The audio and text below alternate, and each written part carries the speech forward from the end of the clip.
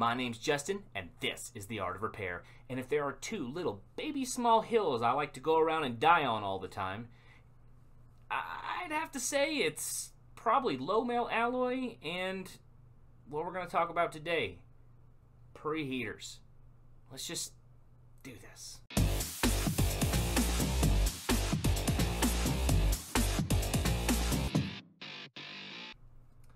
All right, so I've got some real hardline opinions on preheaters, and I feel like I got some pretty logical reasons for it, right?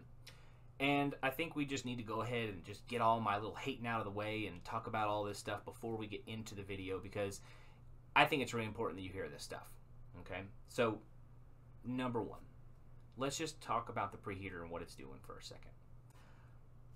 The preheater itself is heating up to a specific temperature and changing the baseline at which you work. You are taking away an ambient heat sink, you are freezing the thermal inertia, and you are making things easier on yourself. Now, with that being said, I see a lot of people using these on every little thing possible. Same as they're out there using low melt on everything because they're just trying to, you know, just, I don't know. Y'all know how I feel about low melt. Now, the deal here is you can actually take your hot air station, right?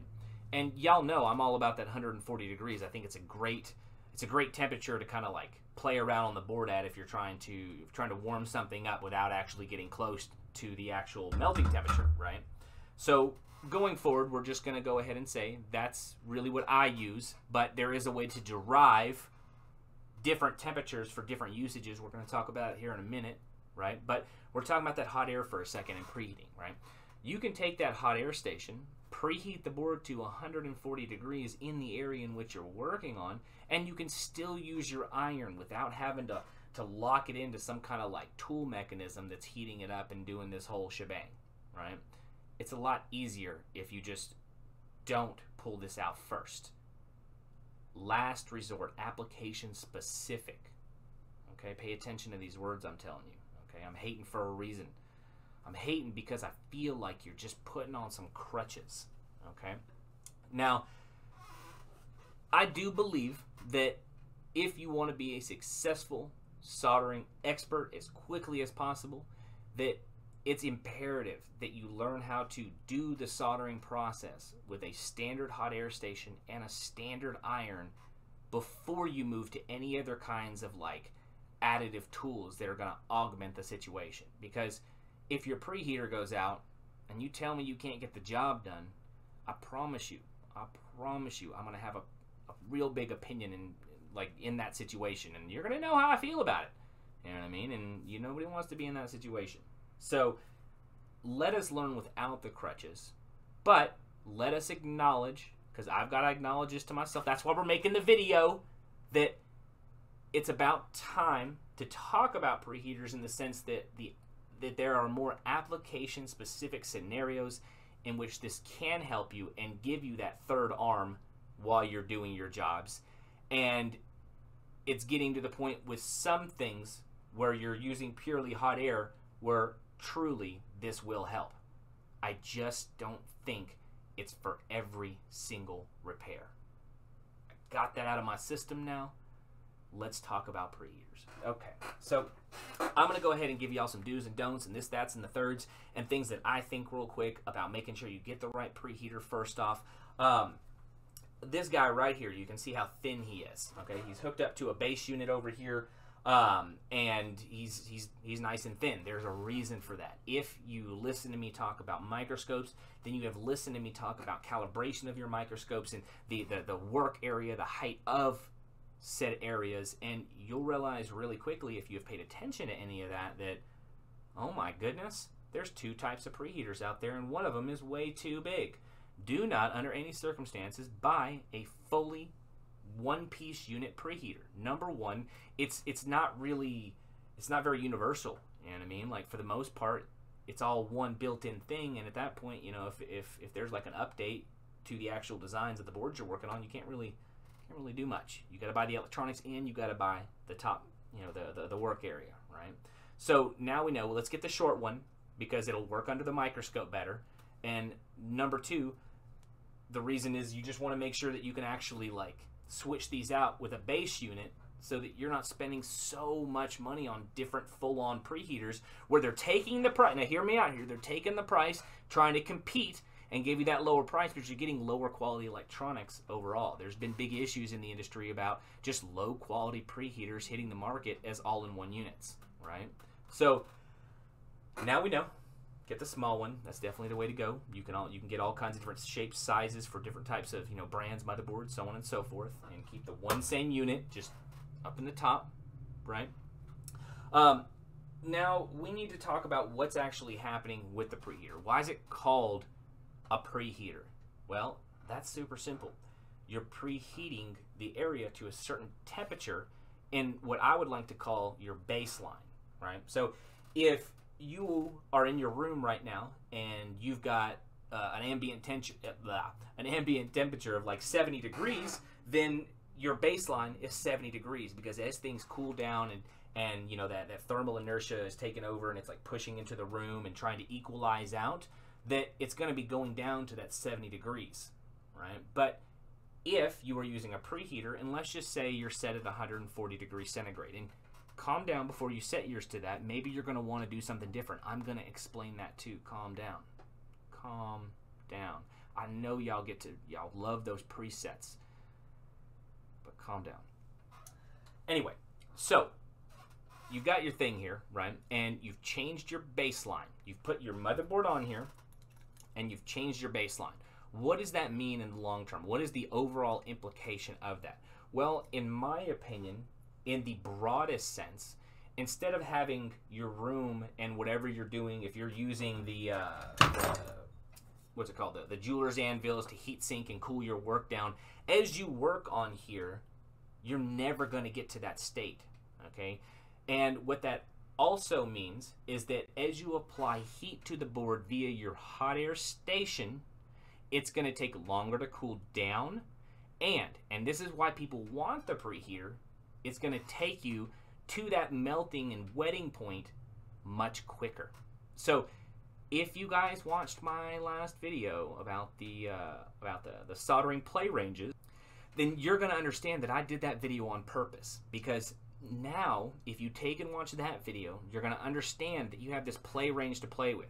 Now, you understand also that you're starting at a baseline, that 70 whatever whatever whatever your ambient temperature is. It's not that much different from one another.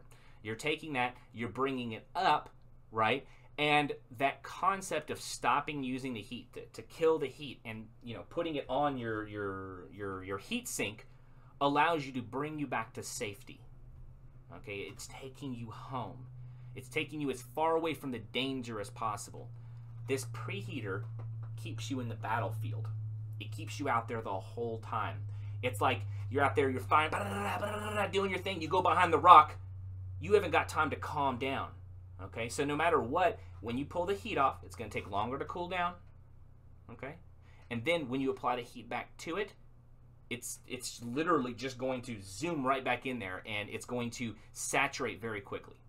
Okay, so I've taken a lot of time to sit here and explain the concept behind what's going on with this preheater. I think we should go ahead and just put it over here now and you can see what I'm talking about because you're changing the soldering play range of the entire situation. You must, must, must Watch my other video on those soldering play ranges before you mess with your preheater. It's really important so you can understand some stuff, okay? It's all about timing, process. Y'all know what I'm getting at. Anyway, so this this is actually already preheated. Uh, so, you know, that's why I haven't really been, you know, grabbing and touching it. I can actually feel the heat radiating out here. Um, how do we derive our temperature for the preheater? Okay. First and foremost, different boards are going to use different alloys, right? They're going to use higher, they're going to use lower. Like if you're trying to separate the board of like a like any of the sandwich the, the apple sandwich stuff or even some of the newer samsung or huawei sandwich stuff everybody's got sandwich stuff now the temperature of the solder that goes around the interposer is going to be different than what's on the board that's something you're going to have to experiment with once you find out the actual like full on melting temperature of what you're working with. Say, let's just take an example and let's just stick to a normal board in a normal situation. Okay. Um, So at that point, we all know you're looking 217, 220 on that lead-free ROHS that's on the board right now. Okay, and let's just say that we want to give ourselves because you, you got to decide how much extra playroom do you want where do you want to set your play range at you're setting that now right so for me i've always thought 140 degrees centigrade was a good play range for me if i was going to use a preheater on a situation like that um, normally for me I would say I would use a preheater in a situation where I would probably use low melt in an ultra rare scenario uh, where I need to harvest a component or something that exists. There's maybe like one of it. Okay. Um, it's really hard for me to think of scenarios for this. Um, I, I, would say that there's some scenarios for EMI shield removal that are very interesting to me that I'm looking at right now um, in terms of using a preheater. Those are those are kind of interesting uh, but they don't carry into the rest of the repair. Um, so you're giving yourself this play range, and you're. I'm some kind of big dummy. I'm I'm editing the video right now, and I forgot to mention that sandwich boards. That's that's one of the main reasons I'm making the video. Sandwich boards. We just got done talking about it, and I didn't even talk about how you're supposed to use it on. Anyway, back to the video. Thinking to yourself, how many seconds do I want to play in this range? Right. So like I said, I'm using 140. That means up to 217. Now, if, again, you watched that last video, you saw that it actually took 30 plus seconds to get you where you need to go. And that's where we're going to take it right here, right now. Just watch that video and then watch this one right after that. You're gonna you're gonna understand. Okay. Um. So we've got our little preheater here, and we are going to go ahead and we are going to take this board and it's not really going to take too much time for this thing to warm up. Ooh. Don't want to burn myself. Y'all know how it goes.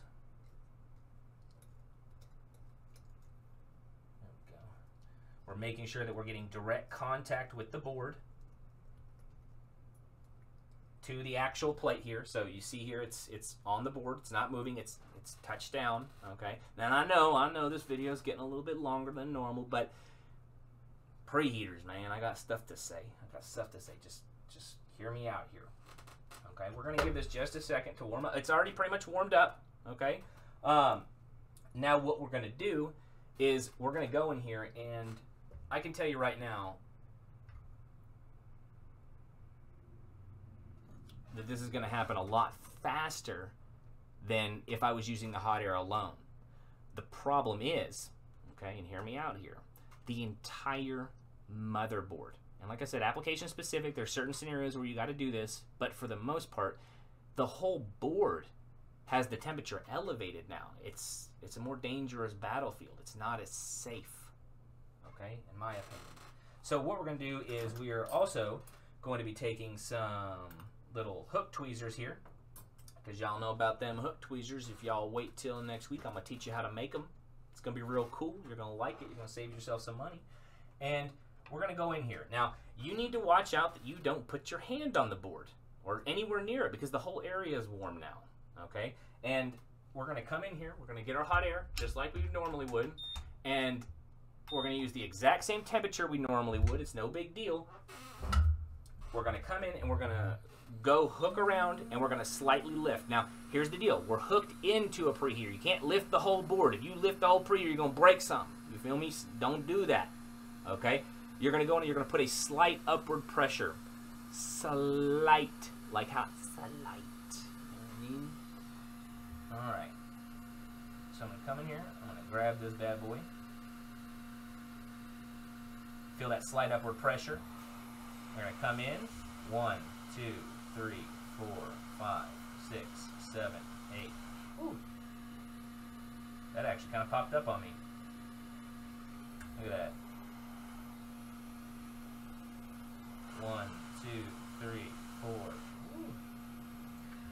You're going to know something else. If you don't have a good hook in there or a good feel around what's going on, you can see even I'm I'm sitting here, I grab it, and you don't have that same instantaneous disconnect that you would with the drop method.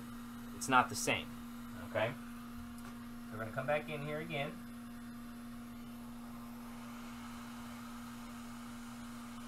There we go. Comes right up, okay? Now, you can see here that we do have those same perfect pull spots. So if we come down here, if you do this right, you can actually see down here, and you can see those little ring around the ring, letting you know that you got something off at a really good temperature. So let's go pick something else now. Let's say, let's just get this guy. Okay. And I, I know it seems really tempting. You're seeing that, wow, that came off way faster. But remember, you're you're playing a more dangerous game here. I'm going to grab it, and we're going to get this one up real nice, okay? We've got our parallel line theory. We're going to come in on the center. We're going to put a little upward pressure.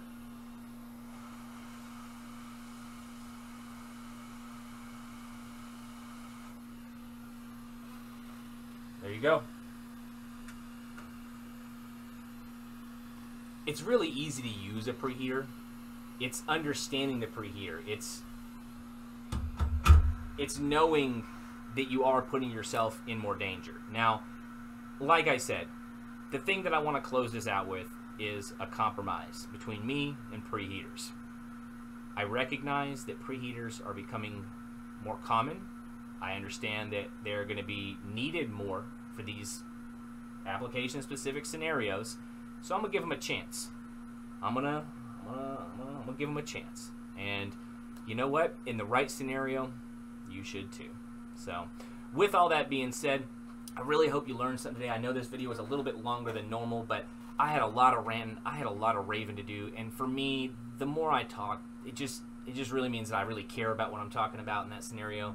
Um, so if if if you really care about this stuff too, make sure you do leave a like on the video. Make sure you subscribe. Make sure you share the video. That's that's always one of my favorites because when you share it, everybody gets to see it. Your social medias, your your Twitters, your Facebook groups, all of that stuff. You know what I mean? It would make me very, very happy. So, anyway, I will catch you next time. We did it. We made it through a whole nother video. In fact, it was uh, it was the preheater video, and I swear, y'all be asking so many times where the preheater video is, and there it is. We did it. We're here. So enjoy. Anyway, if uh, um, if you did enjoy today's video, do me a favor, head on down here. You guys see this cool little link, art of dot repair. You can take it, throw it up in the address bar, hit enter, and that's going to give you a whole bunch of links. It's even going to give you a link to my tool store. So if you are new or, and it's weird to even say it, but if you need a preheater, come on down. We're going to take good care of you. You know what I'm saying? All you got to do is slap art of dot repair in the address bar, hit go, and I will see you soon. So, Anyway, as I tend to say twice at the end of every video, I will catch you next time.